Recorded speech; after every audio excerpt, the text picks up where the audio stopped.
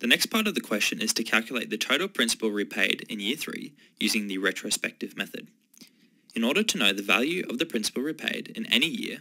we need to know the value of the loan at this year and the value of the loan of the previous year. Then, the difference of these two values is the amount we paid of the loan, which is the principal.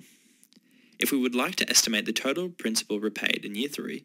we would need to estimate the loan outstanding at year 3 and the previous year at year 2. Using the retrospective method formula, the principal repaid in year 3 is equal to the loan outstanding at the end of year 2 minus the loan outstanding at the end of year 3.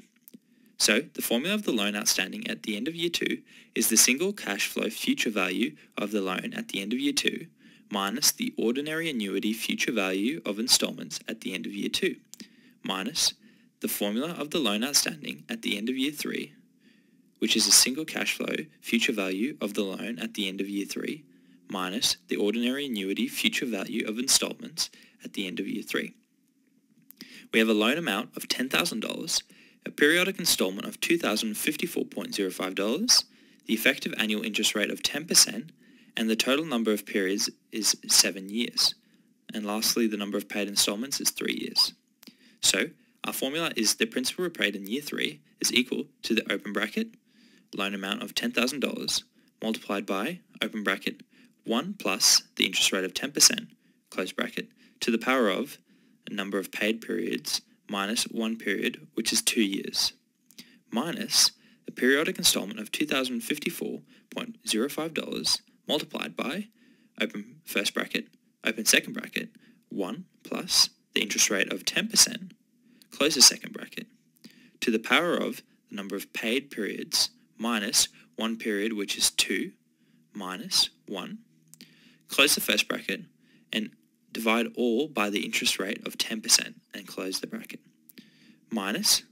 open bracket, of the loan amount of $10,000 multiplied by, open bracket,